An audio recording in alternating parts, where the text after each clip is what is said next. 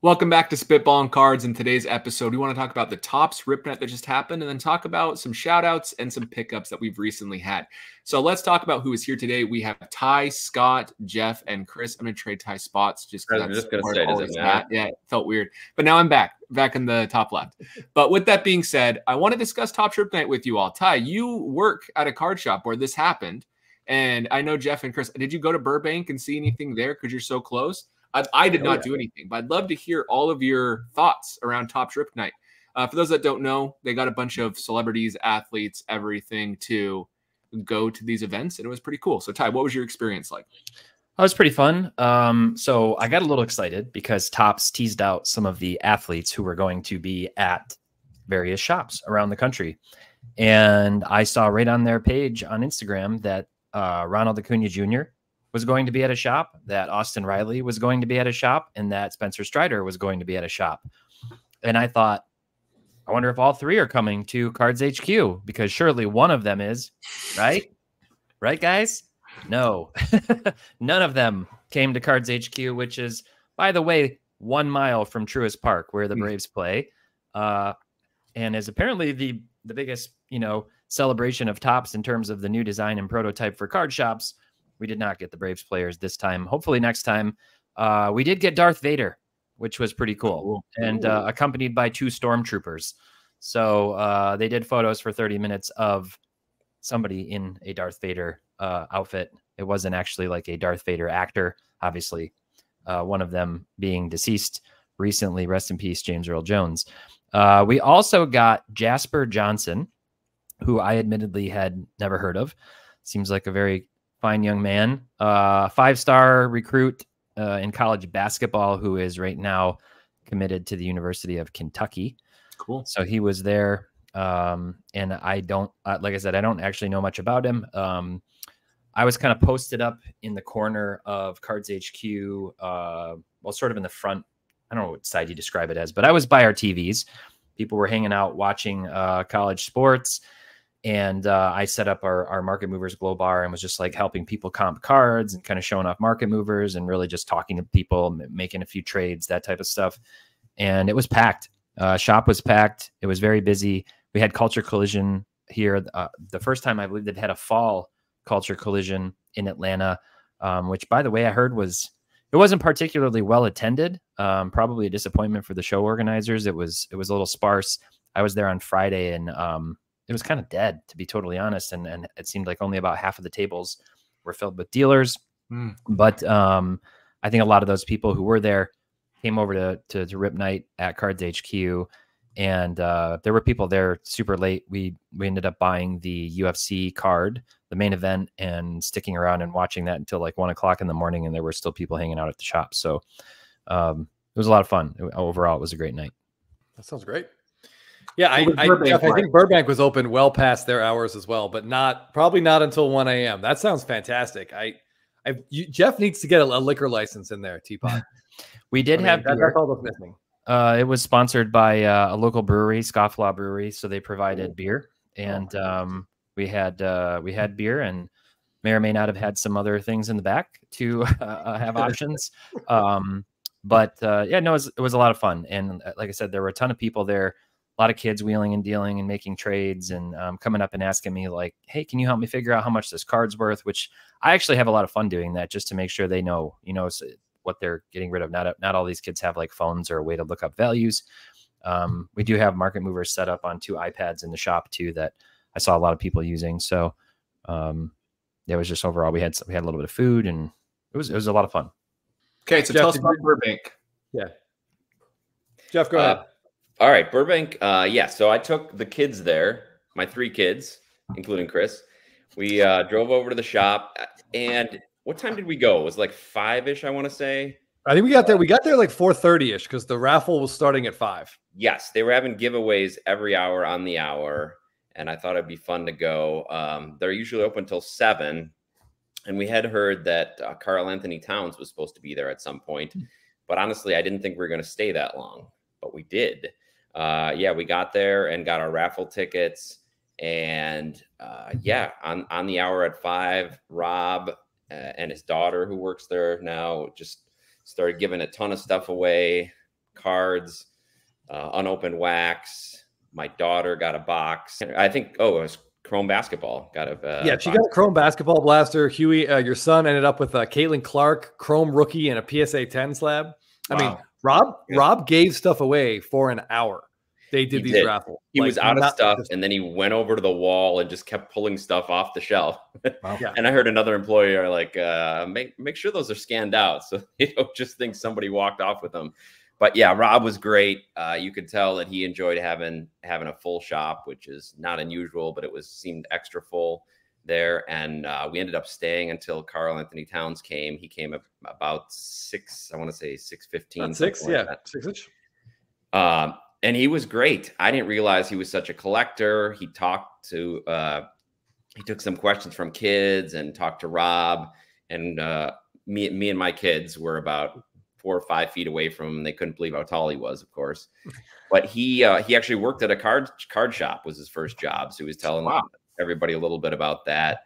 Knows a lot about the hobby. Uh, so he ripped ripped a bunch of stuff, gave cards away made some trades, really interacted with everybody, and then people were just trying to get his autograph. And uh, Topps and Fanatics makes no promises about autographs, but he was really great, and he said that he would stay until everybody who got an autograph or who wanted an autograph got one. Just really, wow, really kind guy. He, I think he made a lot of new fans for those who weren't weren't fans of him, and or, or uh, those of us who may or may not have known who he was in the first place. That's right. There were there were some of us there as well, unfortunately and and some people just showed up that you could tell weren't even really into cards, but they were big either Wolves fans or Cat fans, and so I think to that end, Fanatics is doing one thing that they wanted to do, which is bring other non-card people into a card location and get them exposed to it. So uh, it was great. It was it was really cool experience. My kids loved it. They each got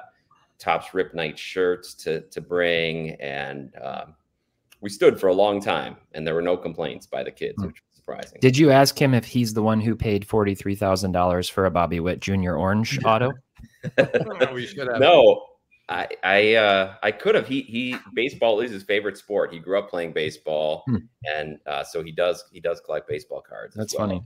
What yeah. so what what was Towns doing out there? Like that's a great question. Uh, before he before he got there, I was talking with Rob, Rob, the the owner of Burbank, and I said, does, does Cat live out here? What's what's the deal?" And he said, "I honestly don't know. We just they uh, Topps and fanatics just kind of assign athletes to them. Yeah, uh, and so he wasn't sure how he got a assigned Cat, and I'm know, sure they wanted a player of significance for Burbank personally. Plus, it is a great place because there's a lot of players in the offseason there, of course. But I sure yeah, they wanted a player of significance, but there's also like eight professional teams within that's fair and miles of Burbank.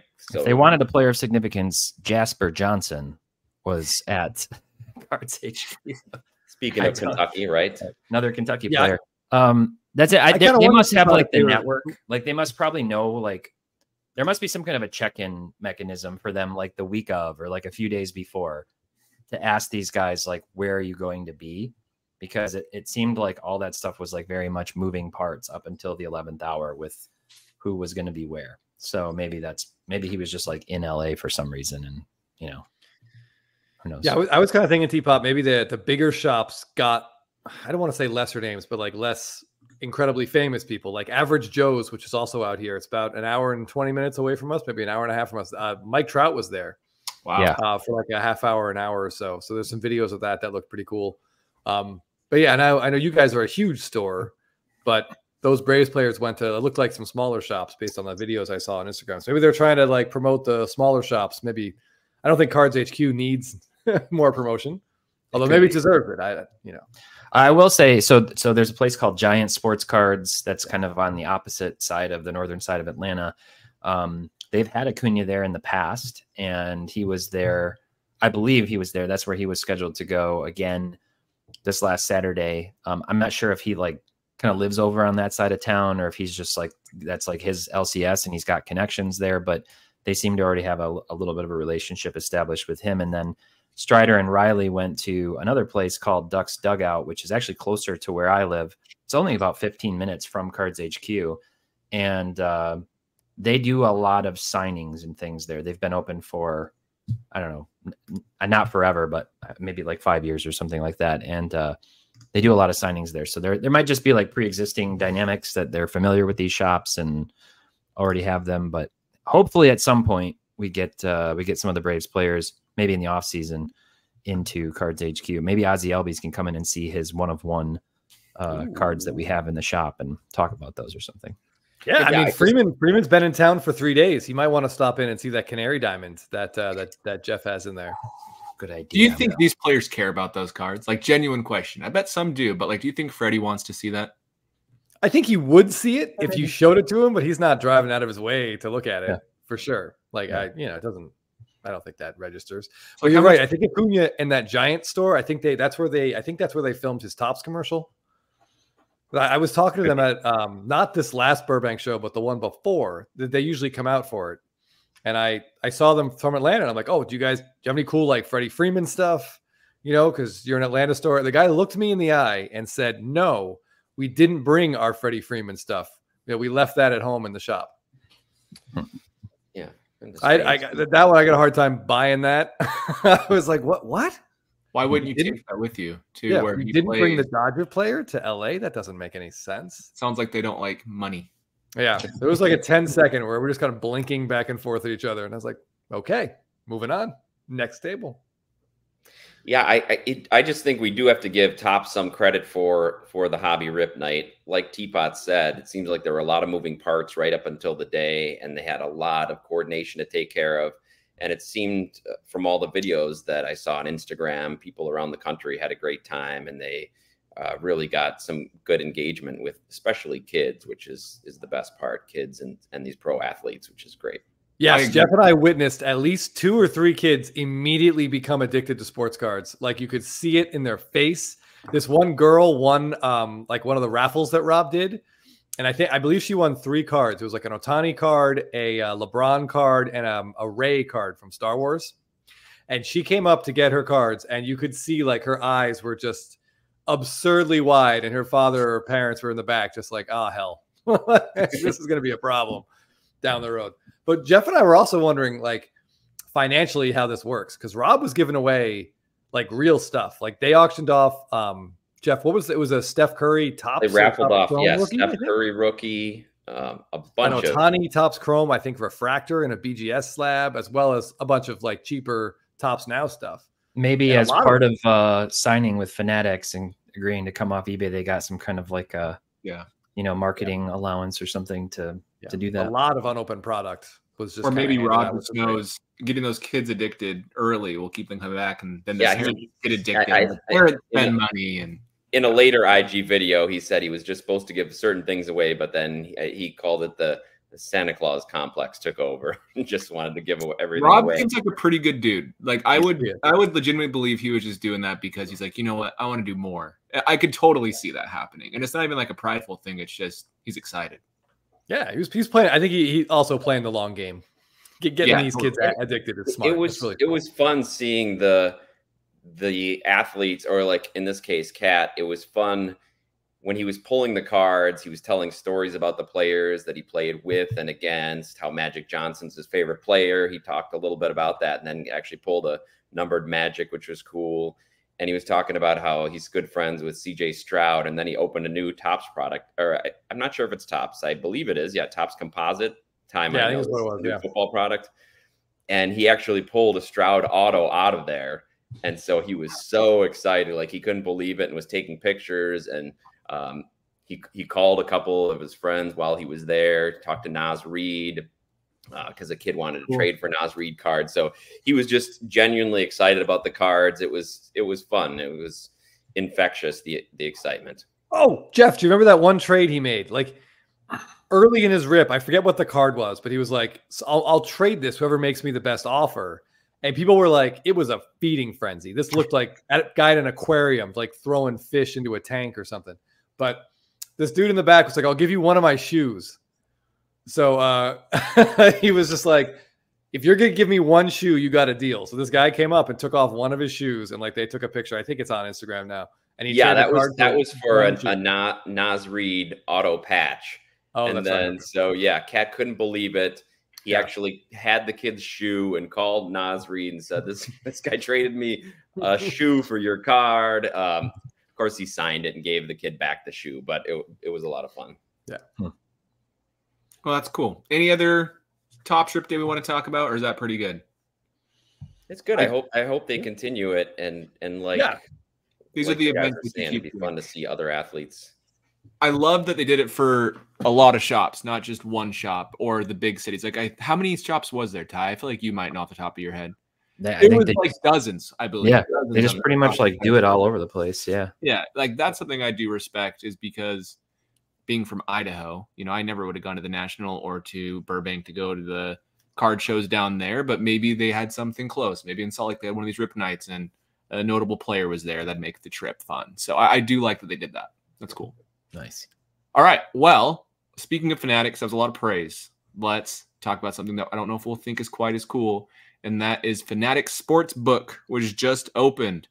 How do we feel about that? Like, does this just confirm 100%? Oh, I want to note one thing. We are not pro addicting kids to anything. We were just joking. Someone's going to take that comment way too serious. So please know we were kidding. we don't want that. We want people to be smart with their money. But that gets us to not being smart with your money with sports gambling, and Fanatics is now in that industry. Jay Z cut the uh, the ribbon at the opening ceremonies. What are our thoughts? Is that fine? Is it a big enough company where it's not a big deal, or do we think that's a conflict of interest? How are we feeling about it? What do you think, Jeff? Well, for months, actually, since ever since this channel began, we've talked about the increasing price of wax and how opening baseball cards specifically and other sports is gambling. It's like a lottery ticket. You're trying to get a big card. Chances are you're not going to win anything when you when you rip. Um, so I guess what's the next logical step? Literally gambling, and it seems like Fanatics has the connections in the sports world, so it's not surprising that they'd want a piece of that action, as, as it's just an incredible amount of money that gets poured into uh, sports betting annually. So I'm not surprised. It's I don't know. I don't know. It just the the thought of the hobby being sort of a quaint little community that it was when we grew up is is not really the case anymore. So I, I don't know. I don't know. I, I hope it doesn't influence the decisions they make on the card side. That that'd be my biggest worry. Maybe this cools their Jets on the card side. I, that's just blind optimism. I doubt it will. But Chris, what are your take on this? Um, so uh, they opened it up at a um, a casino called Ocean in Atlantic City, which could not coincidentally I will be at in about a month. So uh, nice. uh, I will definitely check this out um, firsthand. It's not like I don't know. It's just not surprising. Like if you ever watch a video of of a breaker breaking, it's the same thing. Like it's just you're that's basically a, a roulette wheel with baseball cards. Like it's the it's the same general aspect. It's gambling. So this this seems like a very smooth, simple transition for them. I, I've been bothered for a while. If you watch the MLB network, it's constant like FanDuel this, Fang or uh, FanDuel this, and DraftKings that. They even have like a show at this point dedicated to like the over and unders and the betting lines that they want people to take or they're recommending. I it, gambling is a it's dangerous. It's extremely dangerous, and I I generally avoid it. Um, this one weekend, uh, every October, notwithstanding. Um, but yeah, I don't know. Do we want someone or the company that makes our baseball cards also doing sports betting?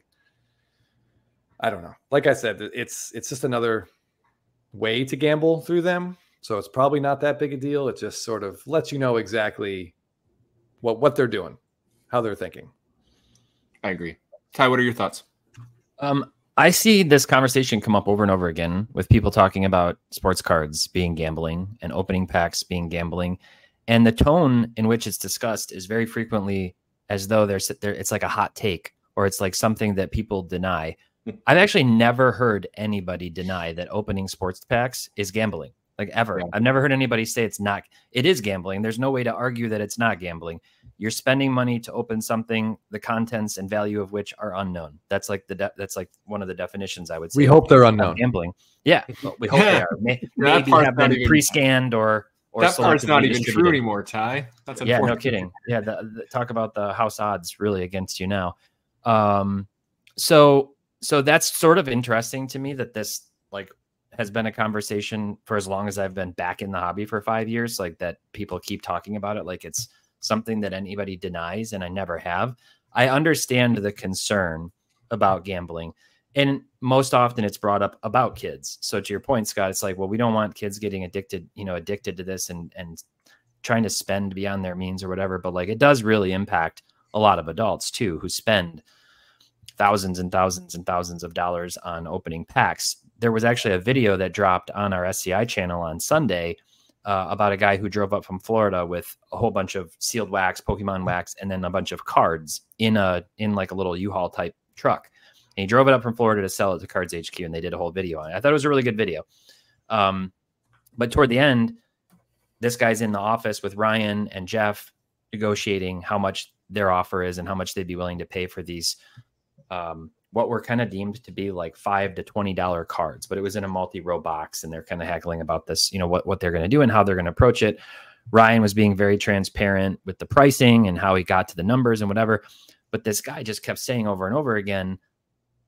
He had a little bit of this look of like disappointment or shock on his face because he he sort of alluded to the fact that he had ripped all this stuff or had like gotten it from breaks, like he had spent all this money, and so the the suggestion or implication was that maybe he spent many thousands of dollars, maybe many multiples above and beyond what he was actually getting in return from what Ryan said. And at one point, Ryan said outright, basically like, yeah, like I understand where you're coming from, and what that kind of stings. Like when you open product, you're not always going to get, you know, you know, you don't, you don't really get back what you put into it.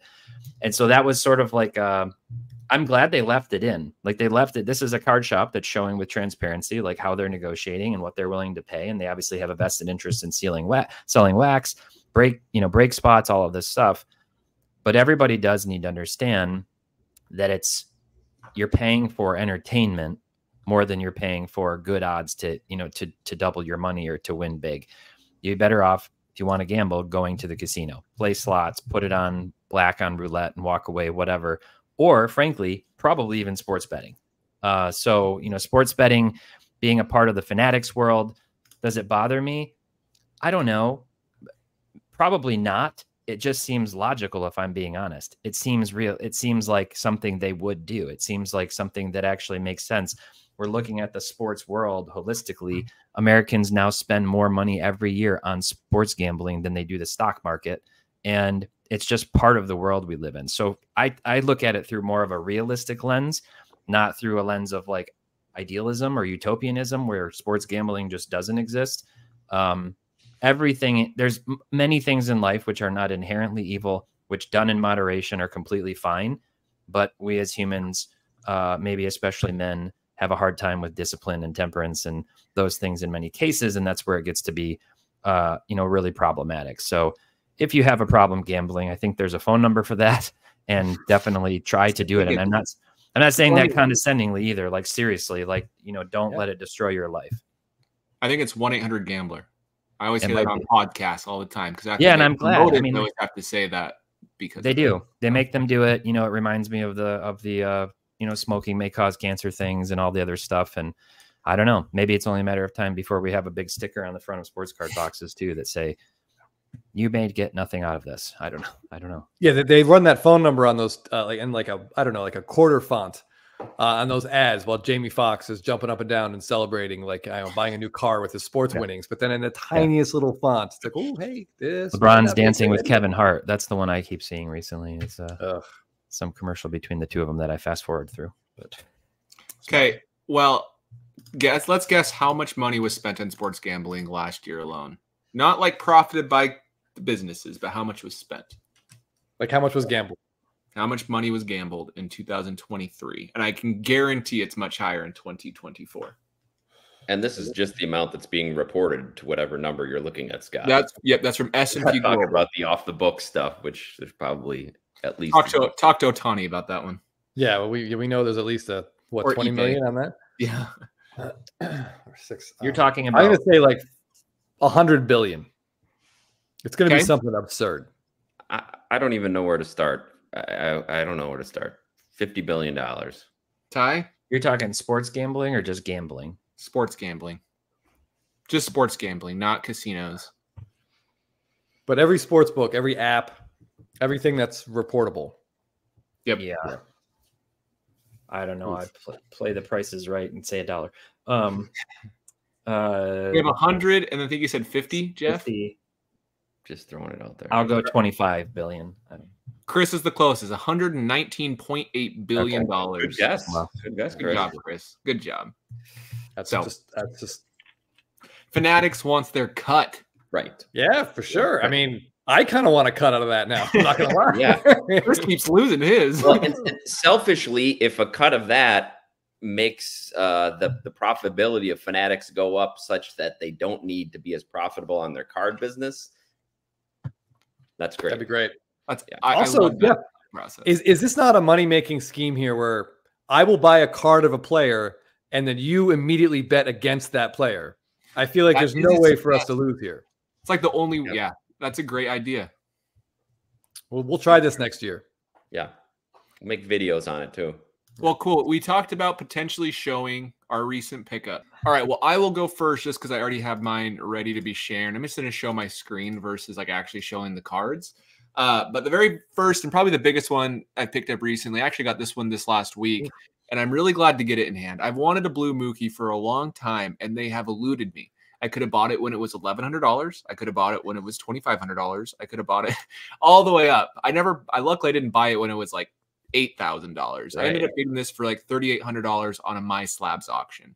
So is that a good price? I hope so. I did a, a poll on my story where I asked, is so and so's blue Bowman Chrome autograph overvalued or undervalued? And I showed what the most recent sale was. And this one was picked as the most undervalued. So that made me feel good about the price. I don't know if that is true, but I'm excited to have it. It was graded in 2014, which I think is cool, right when it was released. So it's been in this lab forever, and I'm not going to crack it out. It's a good subgrades. So that's my biggest pickup. You thinking about um, cropping it though? Send it in for like graded card review? Um, I, I haven't like looked close to see if it could cross. I'm guessing the fact that it's still in this case means it probably couldn't, at least not 100% certainly. I should try the graded one where they keep in the sub. I should try that. I mean, it has great subgrades. So uh, I didn't see any major issues without like looking really close, which is good. And then I picked up this. This was kind of cool. It's hard to find active playing days 101s of players you care about. So this is Larry Walker from 2004 Leaf Limited. It's the Spotlight Platinum one of one. It's I don't know if I paid too much for it to be fully transparent. I actually asked Ty when this popped up, Ty, should I do it? I paid $300 for it. So is that good? I don't know, but I'm okay with it because it's a cool one on one that I'll have for a long time. Then I picked up this Dynasty Larry Walker. I always love Rockies patches because they look really nice. That's one Beauty. good thing about being a Rockies fan. There's like Dodgers fans, their patches are really bad. Like there's no there's no like big logo like the Rockies or you know things like that, or like they're pretty like silver trim along with purple. It's just blue on white. That's like all it is. So that's one thing I'm grateful about. And Larry Walker has a good autograph, so that was pretty cool. So those are like my bigger pickups. I also did pick up a lot of smaller stuff I'll show. I bought this red Billy Butler out of five yesterday for $44. um, no one else in the world would ever pay that for that card, and that's why I won it, obviously. But it was nice because now that I have this one, the other four, I do not care about them. That's how I feel about Billy Butler. I only need one of the card, and I don't need another one because my goal isn't to have all of them. My goal is just to like have one cool card of each parallel of each set. So that's I'm way. comfortable. Speak of gambling, I'm willing to place a bet that if someone else has one of those and they listed it for like twenty five dollars, yeah, twenty five. You buy it. if it was if it was under 25 bucks, that's a price I feel comfortable. I guess I'm a hypocrite because this card right here, this is a black. this is my fifth black, but this black I got for 250, which I told that to Chris and he said that sounds like the price it should be, and that kind of hurt a little bit. But this is numbered to 54. and whoever sold it, I don't know if they knew that, but it's at a 54. So it's his true black flagship, which I was pretty yeah. excited about. I was going to say, Scott, isn't there another one like the Canary or something else that you keep buying as many copies of as you can find yeah. too. Yeah, I'll show you right now. I have I have like seven of these Hope Diamonds, but they're my cheap. goal is only to get one, except yeah, I mean, for this other. If they're expensive, I will not pay forty five dollars for another red ever again. But here's a Hope Diamond. Here's out of ten Atomic. This is a really cool patch of Greinke and Goldschmidt. This is their only combined patch of the two, just by themselves, two Hall of Famers. I bought this really cool uh, rookie year Greinke Platinum Medallion, number to 100 Uh, that one, I love platinum medallions personally. Some of my favorite cards across the 90s and 2000s. And let's see, here's another Hope Diamond Butler, another platinum medallion, more Butler, more another another Hope Diamond. That's my third in the last few months. So, anyways, I feel like along the bottom of the screen, we should be putting one eight hundred uh, gambler right now. if anyone has an addiction that they need to talk about.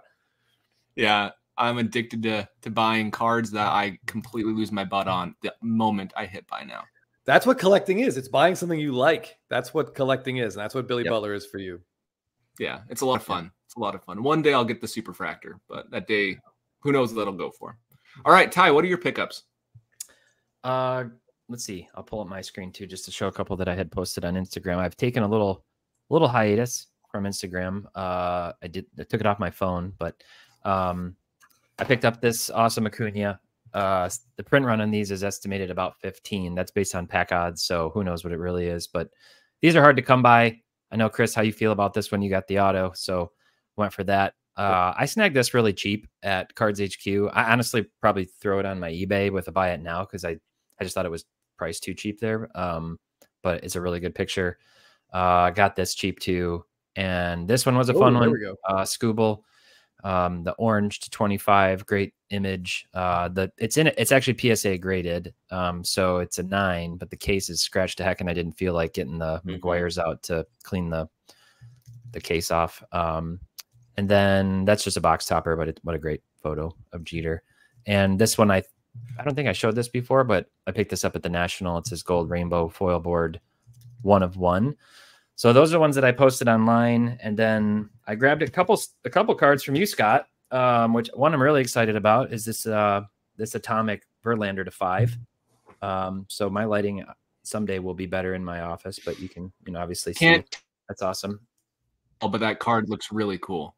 Yeah, it's like amazing. That card is gorgeous. Yeah. Yep. And then uh, Chris Sale's on my fantasy team carrying me to the final this year and hopefully about to win the Triple Crown just like uh. So picked that one up. Um, grabbed a, a gold, finally got a gold Smoltz um, out of 2003 Topps Chrome. So I have the the X Fractor and the, the black and a few others. Uh, got this for five bucks at uh, Culture Collision. It was one of my two purchases at Culture Collision, and um, and then I finally got the in dugout SSP of Skubal. Yeah. This rookie. Uh, I got this in a PSA eight for a really cheap, like 80 $83 or something, and it looks really good. It's centered. And um, then we're I've all grateful. After... We're all grateful, by the way, that Skubal's wearing the uh, older uniform pants and not the 2024 uniform pants on that card. Yeah, be a little uh, bit different. Yep, no junk visible on the yep. card. Uh, and then I've been scooping some Jobes. So I got these two base sapphires PSA 10s on eBay recently, and I'm excited because I got the yellow uh, PSA mm. 10 number to 75. Uh, sorry, to 99. What's that? Is that his? Is that the sapphire? Is that his first? I couldn't. Oh yes. yeah, yeah, okay. Yeah, nice. it is. It's his first. So there have been rumors about him getting called up, and the Tigers are in wild uh, wild card contention right now. Mm. It would be interesting to see if he does get a spot start or maybe some relief innings or something. Um, and I'm I'm I'm honestly kicking myself because I missed out on the gold number to 15. There was a PSA 10. I think it was a pop one on eBay, or it might have been Pop Three. I don't remember, but I thought about making a play at it. I did make a play at it, and I, in hindsight, feel like I should have mega bid. It went for like 370, and then whoever bought it relisted it for like 2K immediately on eBay. So don't you hate uh, that? Yeah, I mean, whatever. You know, it's their right, it's their prerogative. But yeah, still I was sucks. a little bummed about it. Hmm. So, well, cool, Ty. Thanks for sharing your pickups. Chris and Jeff, you have one big one that you've already talked about, but I think we should hear it one more time. Ah, let's stick with the little ones. You don't want to hear the, the big one, one, the, the biggest of the whole video? Uh, I already built it up. You got to do it. I mean, Jeff, do you have it? Um, well, I'm ne- it's never too far from me, I gotta say. So. All right, good. As long as I, I feel better when you can physically see it. Let me make your screen bigger. Who is that? Who is that guy? How do I do that? Uh, this is Angels prospect, a baseball player. I got it. I got it. Here you go. Yeah, there we go. Yeah, if you didn't see the video Chris and I put up about our journey to get this card, please check it out on the Blabbing About Slabbing channel. But uh, yeah, this is our Ohtani Grail. Yes, it was a very it was a hair graying uh, stressful week of panicked card sales to try and raise money to meet a gentleman in in person to buy that. Wow. Yes. I don't want to hear about hair graying when I'm 30 years old with no hair. All right. Yeah. I don't have to worry about. Well, my I don't feel bad for you actually. two. I got some white I mean, coming in. offense was intended. I have to I have to be honest. hey, it fits the last name of Baldwin. I don't know if that's unfortunate or fitting. yeah, it's it bald for the win. Yeah, it's right there. It's all right there. Me. That's me. Yeah. Yep. Pickups did you get? All right, Jeff, you want to keep going? Sure. Yeah, I uh, I've been pretty disciplined with my approach to Jackson Chourio cards. The only one I had coming into this season was one that I was lucky enough to pull from a box, his his first Bowman auto. But um, I couldn't take it any longer, so I decided to pick up a couple. So I picked up his Chrome SSP, Nice. this one with uh, sunglasses on, smiling a little bit, and the image is growing on me. It's one of the better Chrome SSP images of this Yeah. year. There weren't a That lot of great- definitely is better than the Dominguez we looked at last week. It's a good image. Oh my Yeah. god, yeah. Yeah. The only one I like better than Chourio is the uh the Ohtani, where he's introduced or introduced on opening day in Korea with the like sparklers all around him. yeah, That, that card is fantastic. But that Chourio is the best rookie one, I think. And then on the cheaper side, I picked up this All Star Game oh, cool. parallel Chourio rookie, uh, just because I love the way it looked. So it was a PWE eBay purchase. Nice. And then this is, is kind of a strange card I picked up, and this is the first custom card that I've bought. I bought a lot of art cards before and and um, like original artwork cards, but this is the first custom card I bought, and it's from LJ Custom Cards. And a viewer on uh, Instagram told me about it, and I went and looked at his site, and I just loved it. I it's really cool how he makes these cards. You can see he used the outside of a prism, he used the patch in the middle, and then the image of Chourio. Uh, so it's a one of one custom from LJ's. And again, this is probably not, it's like what Chris was talking about. It's not going to go up exponentially in value, but I just love the way it looks. And it's a really cool card. So Nice. Yeah. glad to get this to my collection. So Jeff, you're distinguishing. You're con- are you considering piggy banks like art cards as opposed to custom? Is that a because you've bought some of his stuff before, haven't you? Yes, yes. I've got piggy banks cards and uh like sketch cards. I'm just distinguishing, I guess. I just mean custom cards in terms of where they take other cards, take them apart, and put them together. So I guess de- deconstructed custom cards. I should say. Yeah. So can I cool. piggyback on yours real quick? Is that okay? Sure. piggy banks So on it. Jay from let me actually get his full handle. He deserves to get shouted out. Jay from Local Hits. It's Jay underscore local local hits. He sent me this. It's a Billy Butler, kind of similar that he put Kansas City like in the background. Yeah, that's awesome. Yeah. Pretty cool oh, card. yeah. And so I, I want to give him a shout out. Super thick. Like I think it's awesome. So and he put Yeah. in the back the one of one. He sent this to me because I finished the Billy Butler Topps Chrome Rainbow. So this is a Topps Chrome card. He did something similar to. So Yeah, it looks like 2013. 2013. Yeah. Cool. Celebrating a walk-off home run, which is a good image. It's better than really him- cool. Yeah, yeah. And like I said, thank you, Jay. I appreciate it. historically those cards really haven't done a lot for me that people take them apart and make custom cards but um, i saw this one and it just really resonated with me so i'm like well, Awesome. Why not? Yeah. All I right. was trying to Speaking get- of speaking of cards that show walk off home runs, I picked up a couple uh, Stadium Club autos recently that the images are just so great. I couldn't I could not resist. Sweet. So the first one is uh, this Yordan Alvarez. yeah So this is from 2023 Stadium Club, and this is him celebrating what statistically was the single biggest hit in postseason baseball history. He is the only uh, the only player ever to hit a three run home run in the bottom of the ninth inning when your team is trailing by two. So the in terms of win probability added, that swing against Robbie Ray in the division series in 2022 was, was the biggest postseason swing ever. That was card's awesome. that was a big moment, really. Oh, yeah. Looking back Oh, at it. Yes, and uh, they, they propelled them all the way to the World Series. Um, so this is him like just about to join the dog pile at home plate, and a little extra bit of excitement about this card is it's the 91 image variation, and this is the mm-hmm. only only versions of this the card that he signed that has on card auto. So there's 25 of these, and then there's this chrome stickers, but bleh, We, we don't like those. Bad. Yeah, and I love on the, the, shot how you can see the fans, you see the whole celebration. Yes, it's like like you said right before he's ready to see his teammates at the plate. Yeah, absolutely. If you saw that live, it was just like it reminded me of the the uh, the Pujols homer off Brad Lidge. Just like absolutely stunning, like hit so hard and so loud. All right, from the same set. Uh, this this image is from Felix Hernandez's last time on a mound, uh, major league mound. Uh, he was pitching for the Seattle Mariners, of course, and this was I think one out in the sixth inning. Uh, Scott Servais came to get him, and you kind of look closely, you can see all those orange strikeout and Felix signs in the background. He hugged all his teammates. This is a pretty fantastic moment. It's it's on YouTube. Um, I highly encourage you guys to go check it out. Just like a Seattle legend, yeah, leaving the mound for the last time. It will get dusty in your house as you watch it. You can hear the broadcasters uh, kind of getting a little choked up, but it's it's just really cool. And much like the Yordan, there's only 25 autos of this. The only uh, ones he signed are the 91 variations. So you just don't see these cards very often. And I like to think he took extra time with his signature here because that moment meant a lot to him. So I'm also hoping Topps doesn't just reuse that image over and over and over and over and over again. They they wouldn't do that. They've never done that before. No, never, certainly. All right, one more. Very image image focused. Uh 2014 Topps opening day I has some really rare uh SSPs. Jeff and I call them SSPs. I think they list them as SPs, but these things are ghosts, like you never see them. So we had a chance to talk about a card that we had discussed in our one of our first Blabbin videos ever. We did we highlighted um, five super short prints that we really liked, and this was one of them. And people commented on it; they'd never seen it.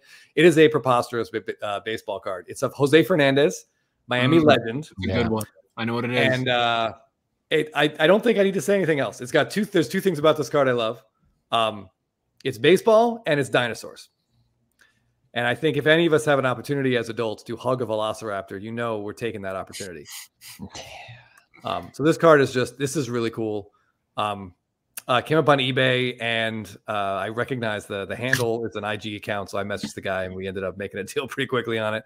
It's a stupid amount of money to pay for a, a baseball card of a guy who, while he was super electric and incredible and exciting, he didn't have the career, you know, the that we were all hoping for various reasons. But this card is great, and it's sort of a combo.